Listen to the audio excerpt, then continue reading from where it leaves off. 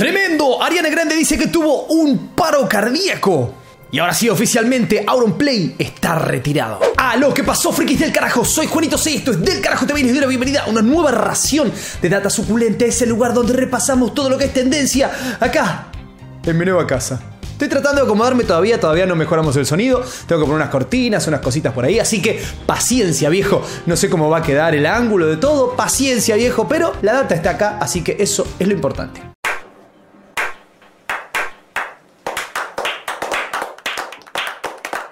Y hoy arrancamos con data de Twitter porque parece ser que Twitter está empezando a eh, identificar o revelar las cuentas que están automatizadas. Twitter acaba de incorporar unas etiquetas que identifican a las cuentas automatizadas que son útiles, digamos, para los usuarios con el objetivo de qué? De ofrecer más contexto para saber con quién estamos interactuando, ¿no? Entonces, por ejemplo, en una cuenta podríamos ver que dice automatizada por y esto sería por la persona que la está automatizando. Esto viene a cuento de poder un poco saber dónde hay bots, dónde no, dónde hay bots buenos, los bots malos y saber a quién decirle hijo de cuando la cuenta automatizada se porta mal. Hablando de bots, ¿qué te parecería que de pronto tu mente manejara un auto? Tu mente, ¿no? Vos estás así, en el auto y lo maneja tu mente. Bueno, señoras y señores, la empresa Mercedes-Benz acaba de revelar en el salón de Múnich, el salón obviamente del automóvil, que están trabajando en autos que se van a poder controlar con tu mente gracias a inteligencia artificial. Entonces, señor Mercedes, señora Mercedes, será, señor Benz, ¿lo voy a manejar con la mente o lo va a manejar la inteligencia artificial? Decídanse. Por cierto, ¿le confiarías a tu mente la conducción de un auto? Yo no sé, no sé. Ahora vamos a poner la musiquita turbia. Esto es un poquito turbio y después entramos en lo doblemente turbio. ¿Sabes quién es Joe Rogan? No, por ahí no, pero por eso hice un video donde te explico básicamente quién es. Durante años podríamos decir el podcaster número uno de la galaxia. Ahora ese hombre está siendo foco de muchas críticas. ¿Por qué? Lo primero, dejémoslo claro, porque cuestiona es un cuestionador. A veces estará en lo correcto, a veces se equivocará, como toda persona que cuestiona algo. Pero la posibilidad de equivocarte no significa que no tengas que cuestionar nunca nada en tu vida. Pero bueno, te cuento qué pasó con él. Resulta ser que hace unos días le agarró el COVID-COVID y a partir de ahí este hombre empezó con una serie de tratamientos que algunos dirán, bueno, no son los clásicos. ¿Como cuáles? Bueno, ivermectina, etcétera, etcétera. Utilizó un montón de cosas que no se están promocionando en los medios masivos de comunicación, como por ejemplo vitamina D, etcétera, etcétera. ¿Qué empezó a pasar con este hombre que a partir de ahí lo empezaron a tomar por loco? Medios de comunicación diciendo que el tipo se metía medicinas para caballos, de todo, una cosa que obviamente está súper claro que no es real porque la ivermectina sí se utiliza en animales y se utiliza también en seres humanos hace décadas, igualmente que un montón de otros medicamentos que se utilizan tanto para animales como para seres humanos humanos. ¿Qué es lo que hizo entonces en el último episodio de su podcast? Bueno, prendió fuego todo. Primero habló de el doctor Fauci y cómo mintió sobre el laboratorio de Wuhan. Después habló obviamente del ivermectina y como en todos lados están diciendo que utiliza un antiparasitario para caballos, lo cual es totalmente mentira y además hay un montón de datos que dicen que funciona. Habló de todos los tratamientos que ya se sabe que funcionan actualmente y los cuales no se están promocionando porque solo se habla de las vacunas. Habló de las pastillas que está trabajando Pfizer, pastillas que obviamente son una suerte de ivermectina y que hizo también habló de varios artículos que se escribieron sobre él, donde obviamente están diciendo mentiras. Así que señores y señores, nuevamente hemos descubierto lo que ya sabíamos que, si no vas con la narrativa, te van a prender fuego. Así que Joe Rogan podrá estar equivocado en algunas cosas, claro que sí. Podrá tener razón en otras cosas, claro que sí. Igual que me pasa a mí de este lado, que yo te cuente algo, no significa que sea una verdad absoluta, para nada. Lo más probable es que yo de un montón de cosas no sepa. Es la lógica, ¿no? Soy un hablador de internet. No soy ni un médico, ni un científico, ni un carajo. Entonces me voy a equivocar. Él también. Pero los que menos se van a equivocar, ¿sabes quiénes son?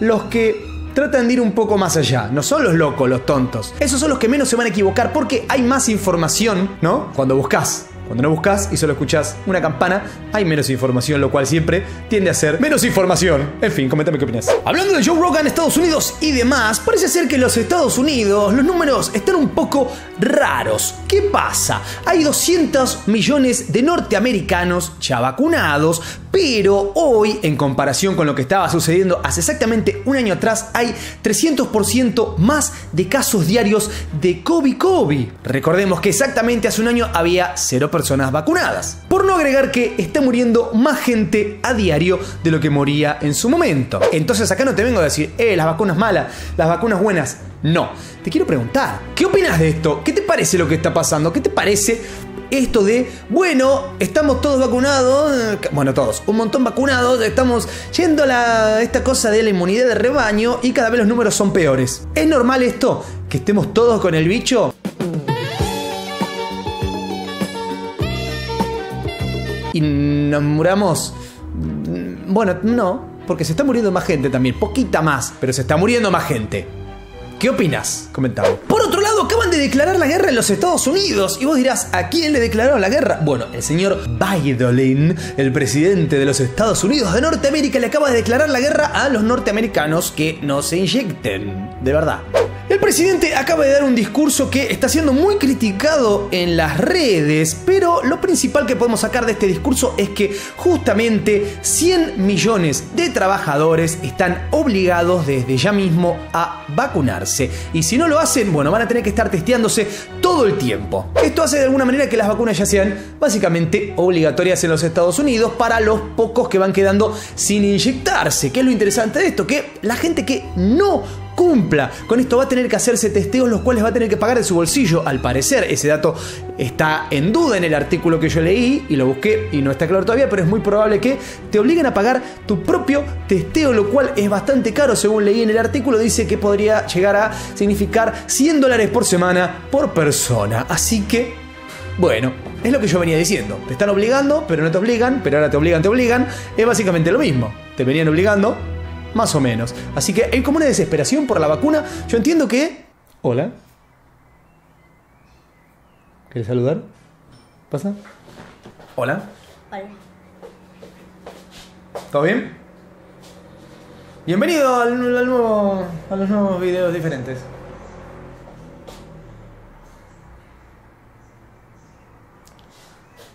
Bueno, hasta luego. En resumidas cuentas, ¿te parece que esta cosa tiene que ser obligatoria o ya se está yendo un poco de mambo esta historia de, bueno, si es tu cuerpo, es tu salud, pero comentame por ahí abajo, por favor, así debatimos un poquito. Y en la pelotubi del día tenemos hoy dos pelotubis. Esta la tengo que contar porque mira, te voy a mostrar un video y vas a decir, pero a lo que llega la humanidad.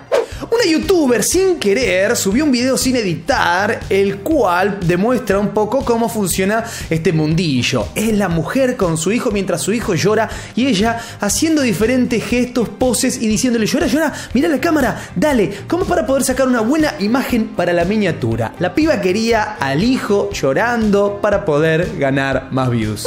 Eso ya me parece nefasto. Que vos pongas a tu hijo, ¿eh? bueno, ahora, hacer esto es como que ahora lo traiga al auto de vuelta y le diga, llorá, así te puedo poner la miniatura. Nah, hay que ser hijo de p. Por otro lado tenemos un segundo pelotubi. Esto ya había pasado hace un tiempito, pero se volvió a viralizar. ¿Qué pasó? Resulta ser que una persona en las redes empezó a insultar a Crayola. Mira, a ver si ves mi caja de Crayola. Está al revés. No me sé, no, no, no, no tengo... Bueno, eso que ves ahí es una caja de crayones, crayola que ya no tiene crayones. Cuestión que como podés ver acá hay una serie de tweets y la historia es básicamente muy simple. Te la cuento muy rápido. Una persona empezó a atacar a crayola diciendo, mi crayón dice negro, el crayón de color negro. Y decir negro suena un poco despectivo en los Estados Unidos, digamos, en inglés, porque bueno, es una palabra eh, utilizada de forma muy despectiva, pero claro. Crayola, ¿qué le respondió? Le dice, señora, relaje de la raja porque eh, negro es black en español y ya está. Y esto no pasó una vez, pasó varias veces, así que nada, lo más curioso es que cuando le dicen a alguna de estas personas, che, estás equivocado, simplemente desaparecen, no dicen, uy, disculpa, me equivoqué.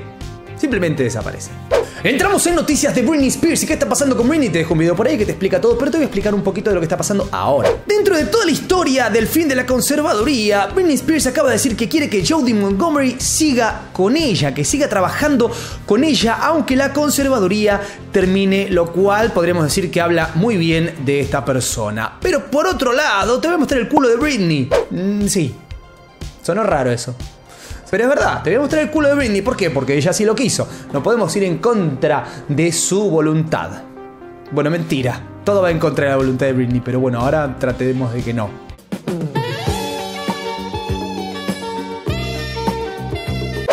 Digo, Britney compartió en su Instagram una foto de su culo y la gente que empezó a decir le dijo, ese no es tu culo, está photoshopeado. Entonces, ¿qué hizo Britney? Subió un video de su culo, la misma secuencia, para que vean que no estaba photoshopeado. Punto para Britney que empieza a hacer lo que se le cante el culo. Punto.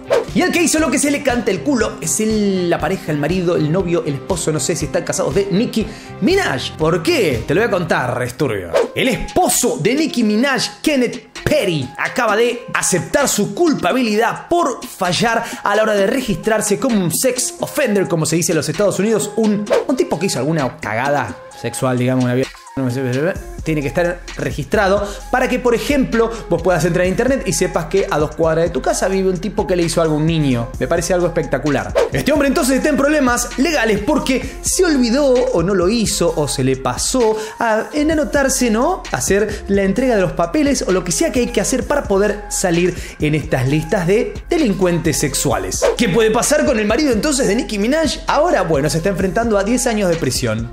Bueno, ¿Pero por qué esto? Porque en el año 1995 este señor intentó a una niña de 16 años. Se comprobó, es real. Así que nada, Nicki Minaj, ayúdalo a tu marido a que se registre rápido. Si no, si no, nada, en realidad es un hijo de puta. Es un hijo de puta.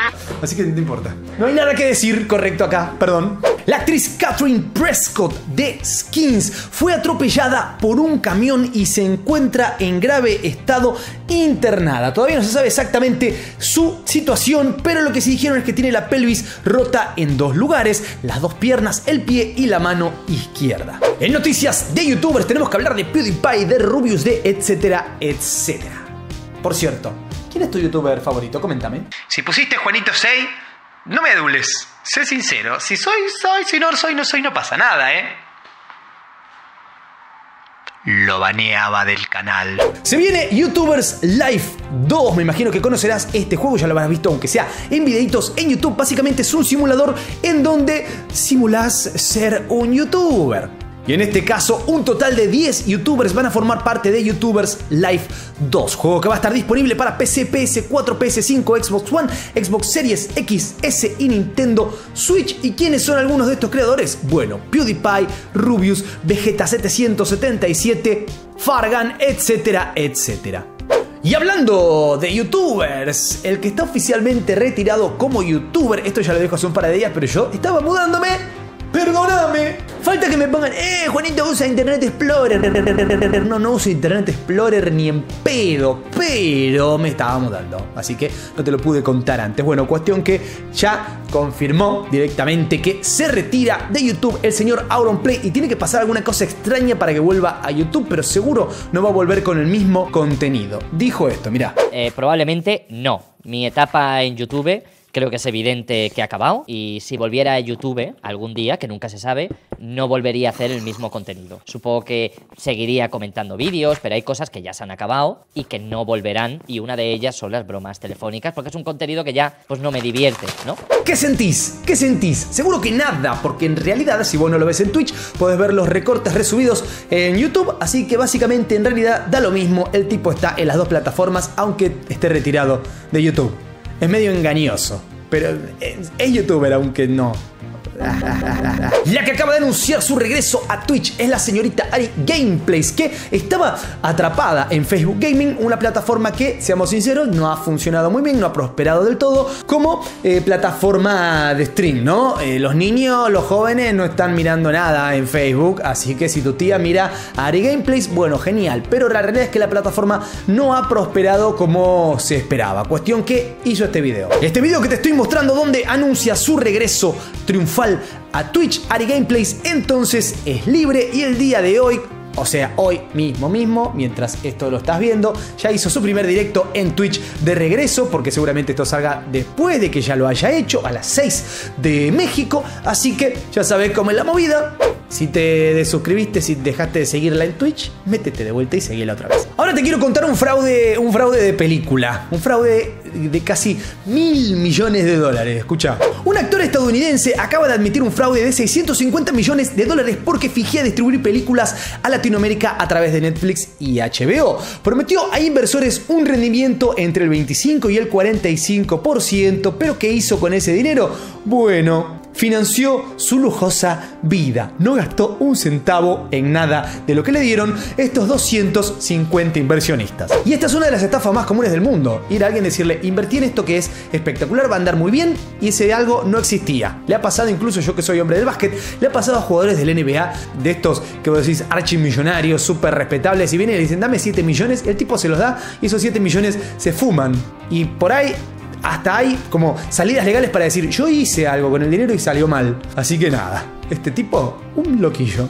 Loquillos también son los 10 segundos suculentos. Hoy tenemos un mensaje de Tyler que nos dice, hola, frikis del carajo, recientemente he creado un canal de YouTube sobre fútbol donde lo tratamos con seriedad sin discutir Ah, perdón, sin descuidar, sin discutir. No existe no discutir en el fútbol y en el deporte. La gente se calienta. Sin descuidar el humor. Saludos, Juanito. Saludos para vos, querido Taylor. Voy a estar chequeando ahí el canal. Voy a ir y ponerte cuándo vas a hablar de básquet. Porque ya imaginarás que soy un hombre del baloncesto. Pero bueno, hay seguramente más fanáticos del fútbol que del básquet, así que te va a ir muy bien. Te va a ir mejor que a mí hablando de básquet, seguro, no tengo duda. Muchas gracias por sumarte aquí a los 10 segundos suculentos. Tienes un link por todos lados. Vos te querés sumar los 10 segundos suculentos, link en la descripción que te explica qué tenés que hacer. Y ahora vamos a hablar de algo que algunos medios de comunicación lo titularon un poco grave. Todos los medios estaban como, Ariana Grande tuvo un paro cardíaco, un ataque al corazón. Y técnicamente es cierto, porque lo dijo ella. Así que no se puede decir que es mentira, pero te voy a contar qué pasó. En una entrevista, Ariana Grande fue consultada por su música, específicamente cuando su música sonó en la serie de HBO Gossip Girl. ¿Y qué dijo ella? Disculpame, cuando vienen los títulos y escucho la voz de Kirsten Bell diciendo cosas de Gossip Girl y mi canción está en el fondo. ¿Por qué nadie me avisó? Tuve un paro cardíaco, tuve un ataque al corazón. Yo era una niña que de chica religiosamente miraba Gossip Girl y ahora estoy sentada acá y suena mi música. Tuve un paro cardíaco.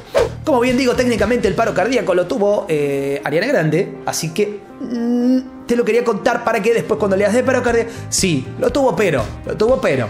Es un paro cardíaco que, bueno, es como mucha gente, ay, yo la veo a Ariana Grande bailando y tengo un paro cardíaco, no me, me emociono. Bueno, sí, pero no me morí, me emociono. Un paro emocionante. Como sea, contame qué opinas al respecto del paro cardíaco de Ariana Grande. Lo más importante, no te olvides de darle duro, duro, duro al botón de like. Suscríbete, toca la campanita, seguime en mis redes, sumate al team del carajo para que puedas seguir en esta nueva casa hermosa que ya te voy a subir el video de la mudanza. No tengas tanto apuro, después voy a seguir viendo acá cómo sigo montando todo el setup, pero por lo menos ya hemos regresado. Te dejo otro video por ahí, soy Juanito 6 y nos vemos la próxima. Paz.